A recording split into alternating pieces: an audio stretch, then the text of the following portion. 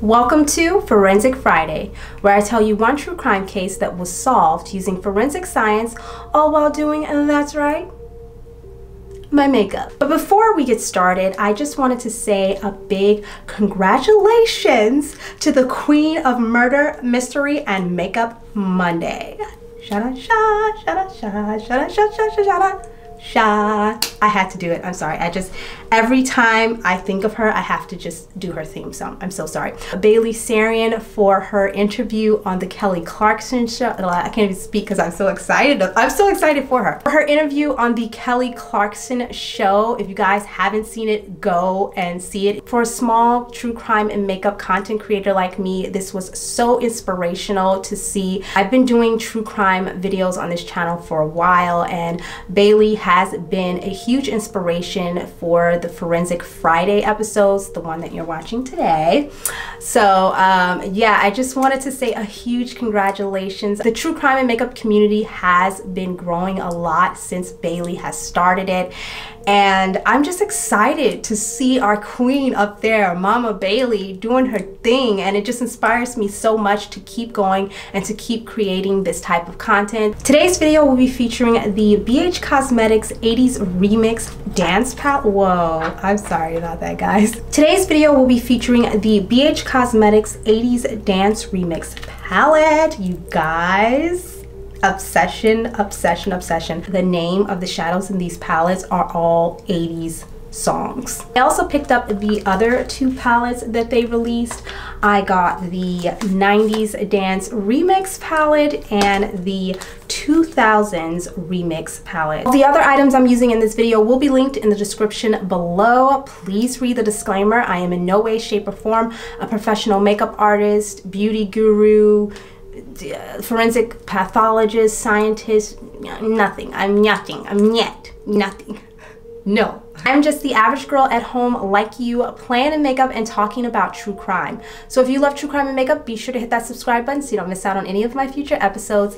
And let's get into today's case. This story takes place in central Pennsylvania in 1984. On a Sunday morning, a fisherman was walking around enjoying the Juniata River. I think that's how you pronounce it, Juniata, I believe, I think that.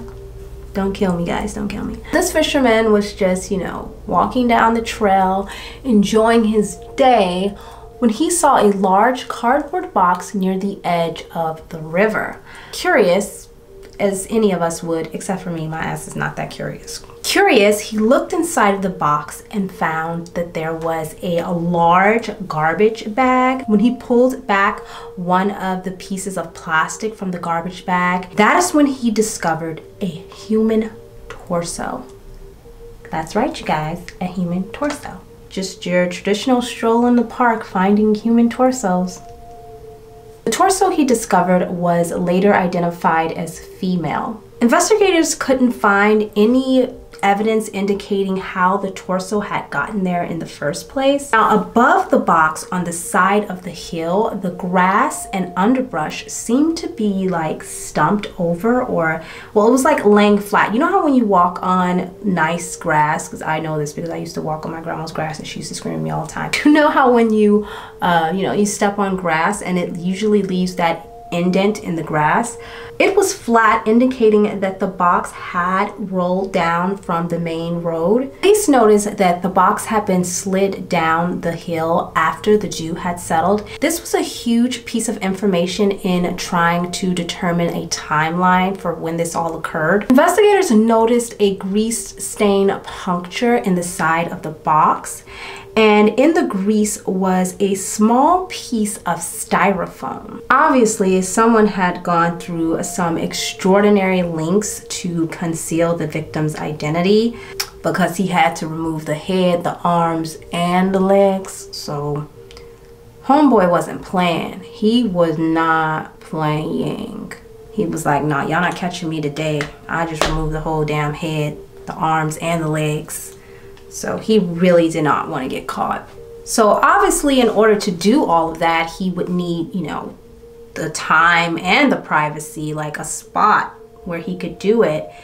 So one investigator thought that, you know, this was really interesting the way that it was done because he felt like obviously if this person dismembered an entire body and he removed all of the legs all of the legs oh, all two of his legs he only they she only had two legs all both of the legs if they were able to get rid of the arms and the legs and the head then why would they leave the torso out there by itself there had to be some reason he thought of why they would want that torso to be discovered. Now, the body had three large moles and a scar on the abdomen area.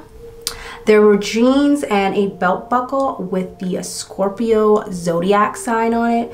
This was all that was left behind. This was all of the evidence investigators had to identify who the victim actually was, and that's not a lot. Now, at the autopsy, the pathologist found something very, very strange.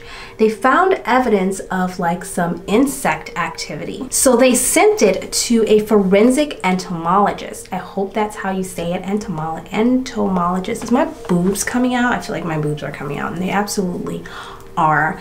Now, an entomologist is an expert in the study of insects. So they study insects, they study bugs for life. That's what they do, guys. I almost feel like that's kind of cool. Or is it just me? I don't know. I like weird things, guys. What can I say? But I do feel like that's kind of cool. He identified it as eggs from a blue bottle fly, as well as the black blowfly, which I guess is pretty common around the United States, um, especially in this area of Pennsylvania. The development state of the larvae and egg along with the weather conditions that the body had endured, allow the entomologist to come up with a rough estimate for the time of death. They found that it was about two days prior to them finding the torso. So this meant that the victim had died late Friday night or early Saturday morning, but they still didn't know the cause of death. The autopsy report was not able to identify. So at this point, investigators don't know who she is. They don't know how she died and how her torso got where to where it was. You guys see, this is the this is the reason why I'm so afraid to take the trash out at night because like there are two garbage bags, you guys, that have been sitting behind like the main bin in my garage. I'm sorry, side note, side story. I don't know how it got there, but it's been sitting there for maybe like two weeks and the trash guys haven't even picked the bag up. And I'm I keep like I don't know. I keep debating if I should just pick the trash up and put it in the trash cans, which I've often done because sometimes my neighbors, if the can is full, they'll put the trash on the side, you know. And but this has just been sitting there and it's like hidden kind of behind the main trash cans in my garage. I've just been debating whether or not I should go and put it in the trash cans, but every time I see them, I'm like, no, I'm not gonna do that. Like, uh-uh. I'm not trying to discover no dead bodies. And then I run upstairs.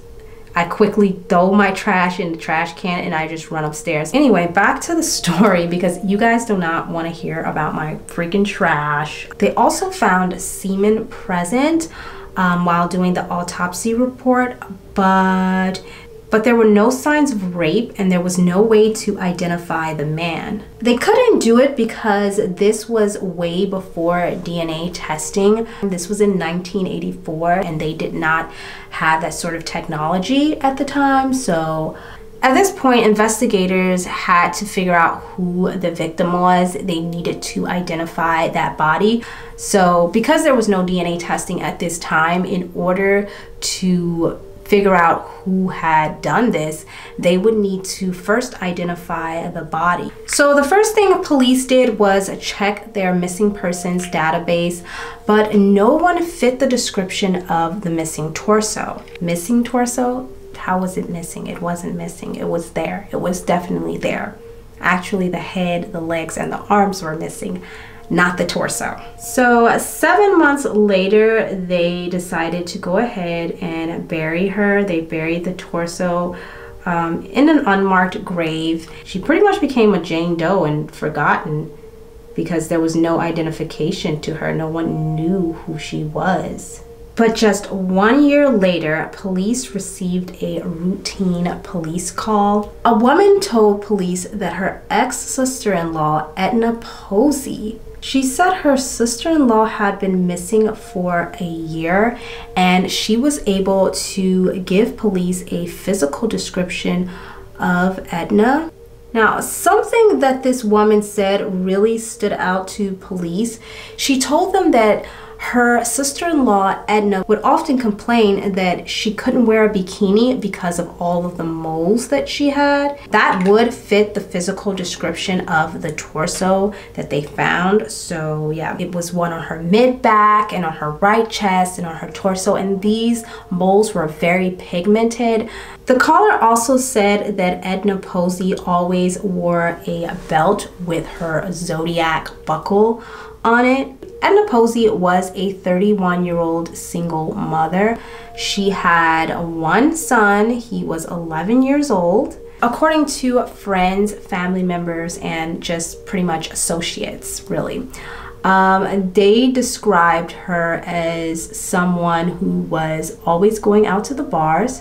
She had multiple sexual relationships with different men on different occasions, and she was a fast girl. She was a fast girl. What can we say? Well, I'll just come out and say it. They called her a tramp, okay? Uh, I mean, guys, this was 1984, so any woman who wasn't with one guy and married was considered a tramp, but in today's time period, she would be considered a boss. Okay? Or no, she might still be considered a tramp, but you know, to each his own. So according to them, she was always in, you know, unstable relationships and short-term relationships. She also had a lot of issues with alcohol. She would abuse alcohol a lot and she also didn't have a stable living environment for her 11-year-old son, Randy. Um, but she would meet these men in bars and she would quickly move in with them and then just as quickly end up moving out. She would keep repeating this same pattern of behavior and they just thought that it really was not healthy for her son whatsoever and I have to agree that's really really unhealthy. Um, I mean if you're a single girl do your thing but when you have a son, a child, that's a lot of responsibility, that's another human life um, you can't be doing that shit, girl. Long story short. They also said that on occasion she would disappear for months at a time without saying anything to anyone. No one knew where she was or what she was doing. So, according to Randy's Boy Scout troop leader, Edna had confessed to him that her life was out of control and it was an unhealthy environment for her son.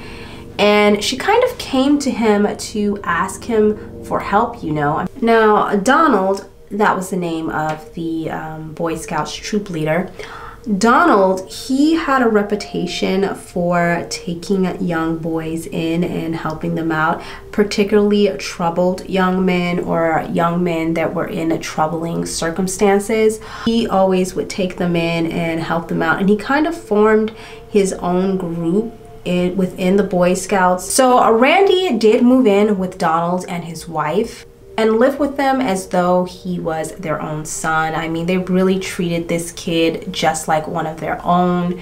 So 42 year old Donald was a machinist. Um, he had no children of his own, so it was just he and his wife. Now, a lot of people um, really liked Donald and they applauded him for his, you know, his efforts in helping young troubled children. A lot of other people, though, questioned his motives. Him being, uh, you know, a 42 year old man and, you know, being around children, like that being his passion, but not having any children of his own. Now it's time to go into the palettes.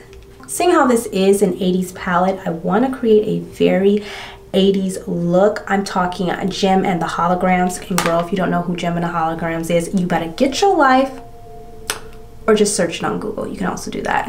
but anyway, back to the story. Apparently, some people thought Mr. Donald was being a really creepy weirdo guy.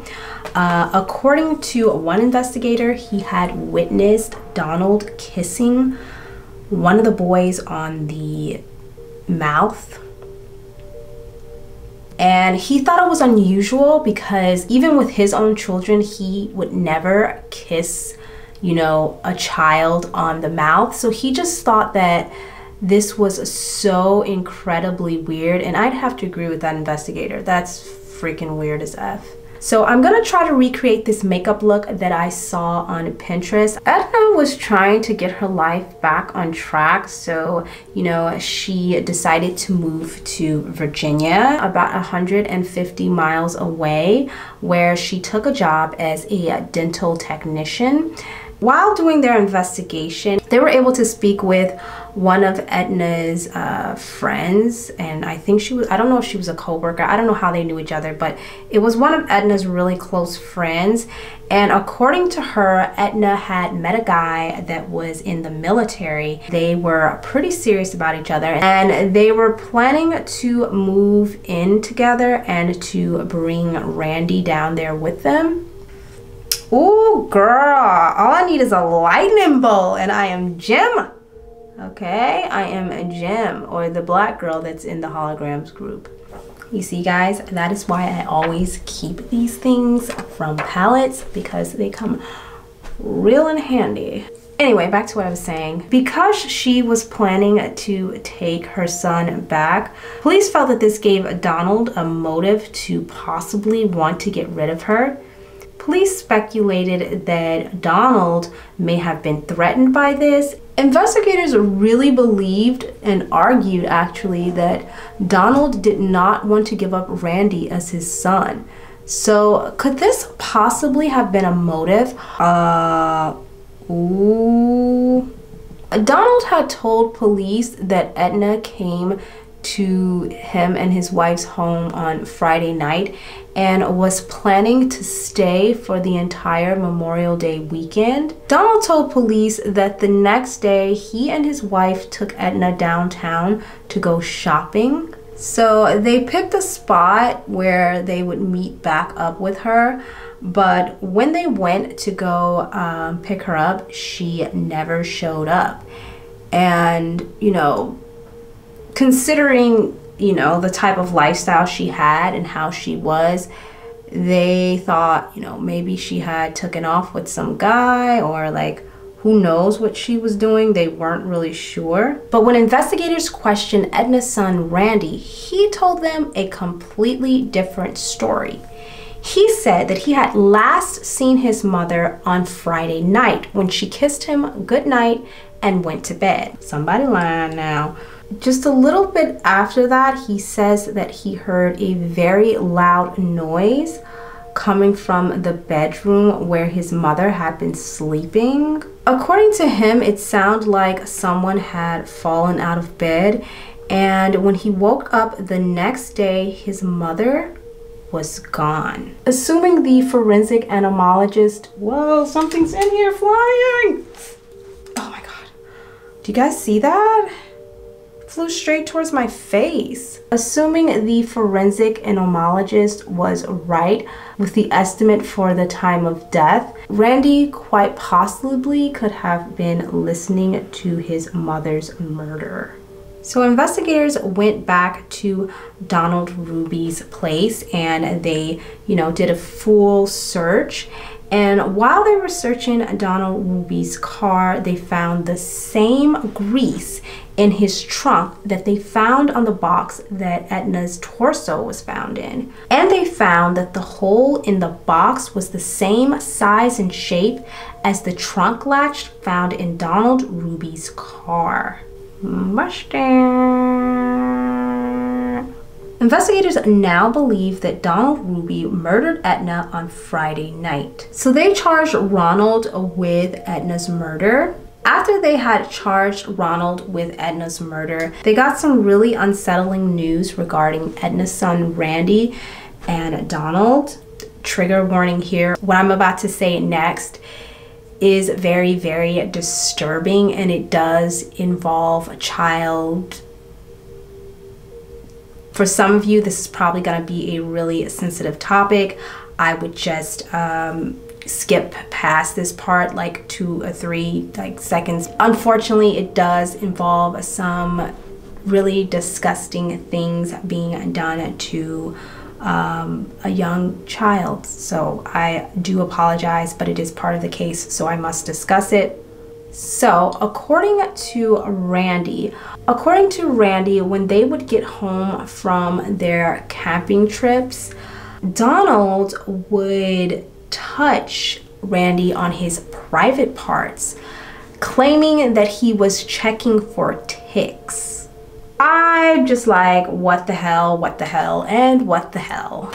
What a Chester Hester, the child, you know what? what a creepy, weirdo, freak guy this guy was. Like, a and this is a very sensitive topic for me as well, so I feel you out there. Police found direct evidence of some child pedophilia going on. Oh no, oh no, oh no, no, no, no, no, no, no. Okay, how do we want to do this? Do we want to start effing things up now or should we wait till later? Um, I'm gonna go with now. Let's just Let's just go for it. So allegedly he would examine, like I said, all of Randy's private areas. He would also um, examine near the buttocks, like the butt hole area. He would spend a little bit more time examining more than any parent should or would. Prosecutors thought that this was a definitely um, evidence of pedophilia. They didn't like it at all, and they were pretty much like, "No, this is nah, buddy boy, you ain't going nowhere, Chester Hester. This is definitely pedophilia, and you're not gonna get away with that ish." At this point, they felt that he was fixated on Randy, like he was obsessed with Randy sexually, and that is the reason why he did not want to return him to his mother because he just couldn't go without his nasty little fix. Nasty, nasty, nasty. Please believe that this is the reason why Donald murdered Edna and they convicted him of Edna's murder and he was sentenced to life in prison. The grease and styrofoam that was found on the box containing um, Edna's torso was enough circumstantial evidence for prosecutors to go ahead and convict him of Edna's murder. Ooh, okay, I know some of you real makeup people out there are like laughing right now, but it's not funny because I'm I'm legit lost. Now, three years after Edna's murder, thanks to forensic science, three years after Edna's murder, Donald Ruby was convicted and sentenced to life in prison. But behind bars, Donald kept maintaining his innocence, saying that he did not murder Edna. So he said that, you know, it wasn't him pretty much, and that any one of her lovers or people that she was associated with on the street could have done it. So his lawyers petitioned the court for a retrial. Damn it, if this man gets out. The defense claimed that there was no proof that Donald was a pedophile. Just, you know, the the usual sniffing around your child's butthole and his penis area. That's about it, you know. Just checking out his privates for ticks after camping, that's all. Nothing weird about it. No, not at all. Detective Inspector Lucy has just joined us. Hmm, she's tired. Not only did they say that, you know, there was no evidence that he was an actual pedophile, They also said that his rights had been violated when the jury heard this testimony because there was no real proof. His defense also asked to have the forensic evidence re examined. So they brought in another forensic entomologist. This forensic entomologist was like one of the country's leading entomologists. He was like the best and the best. Like, dude knew his crap. Okay. He knew his stuff. Um, and he was super popular. So the new forensic entomologist came in and re-examined the eggs and larvae found on Edna Posey's body. Flies lay eggs that turn into larvae that produce more flies.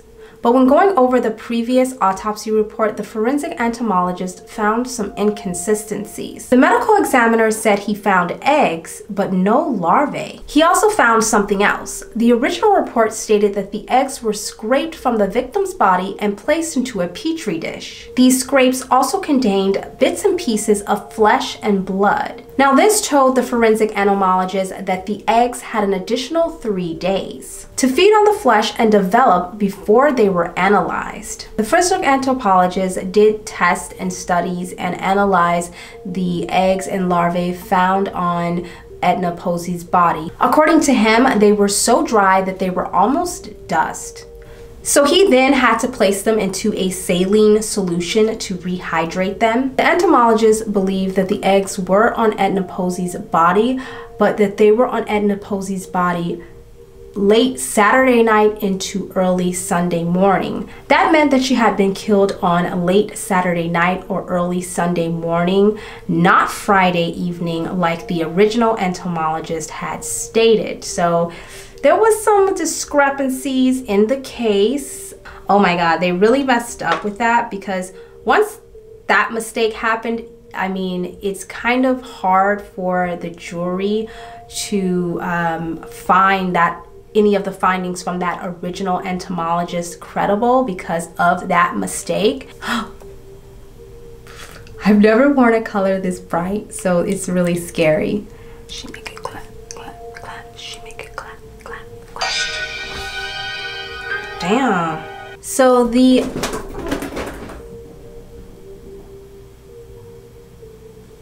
that's Detective Inspector Lucy running around like that. The forensic entomologist believed that the eggs were on Edna Posey's body just for a short period of time. The meteorological evidence also pointed to the time of death being early Sunday morning as well. Investigators went back to, to question the fisherman who had found the box in the beginning and he said that when he found the box, there was no dew or condensation on the box at all, which had traveled down the embankment. So there should have definitely been some dew or condensation on the box if it had traveled down that embankment. According to him, where the box had rolled down the embankment and traveled, there was no dew or condensation that morning.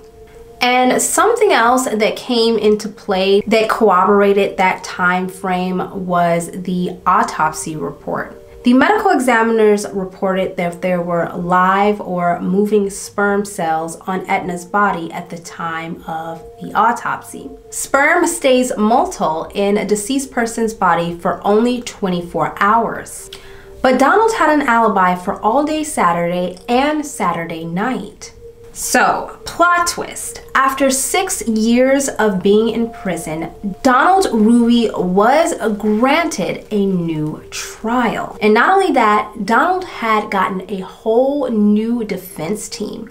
And this new defense team had some surprising evidence. So at this point, DNA testing had just come out. New DNA testing of the semen found on Edna Posey's body revealed a shocking piece of information about her last night. New DNA testing of the semen revealed three different men that had been with Edna that night.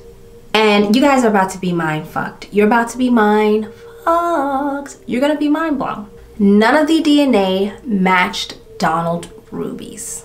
I'm having like a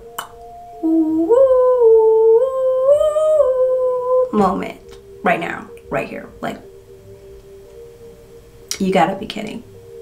If he didn't do it, he spent six years in prison. And I mean, but although he probably should have gone to prison anyway because he was doing nasty little things to um, a little boy, so he probably should go to prison anyway, so it doesn't really matter. So at Donald's second trial, he stuck to his original story and his original defense, which was he and his wife had dropped Edna off downtown to go shopping. So they just kept insinuating and pushing that someone that Edna had been picked up by that day, one of those guys, had to have committed this murder and not Donald Ruby. Also, the defense called Edna's son Randy to testify in the second trial. Randy originally stated in the first trial that he had heard a loud thump Friday night coming from the bedroom where his mother was staying. Fast forward eight years later, and it's the second trial. Randy is now 21 years old, and he's saying that he actually don't remember anything like that, that he never heard a loud thump on Friday or anything about that. In addition to that, the defense was now saying that the hole found in the cardboard box could have been made by any vehicle with the same latch that was found in Donald Ruby's car. After nine days and six hours of deliberation, the jury found Donald Ruby not guilty. As you can imagine, a lot of people were baffled. Edna's friends and family was so heartbroken and just they were shocked. They were in utter shock and completely heartbroken. Like, how could this guy get off like that? Some say that Donald Ruby is the killer and he got off easy and that he should at least still be punished for um, abusing Randy. Um, others believe that while Donald may have abused Randy, that he did not murder Edna. While this case has been closed, in the minds of the victim's family and people that were involved in this case, it remains open to them and they really do believe that Donald Ruby was the actual murderer. Sadly, you guys, that is where this case ends. Um, it has been closed and Donald Ruby was set free and is a free man. What do you guys think about this case? Do you believe that Donald Ruby is guilty of a murder or do you think he's just a child predator who accidentally got this murder charge put on him and has been set free. What do you guys think? Please let me know in the comments down below. This case is a crazy one. It blows my mind. Honestly, I'm still thinking about it. Um, I don't really know what side I'm leaning towards except for the side that he should definitely be in prison for life either way. Let me know in the comments down below what you guys thought about this case and my makeup look. I'll see you guys next week with another Forensic Friday episode. Bye!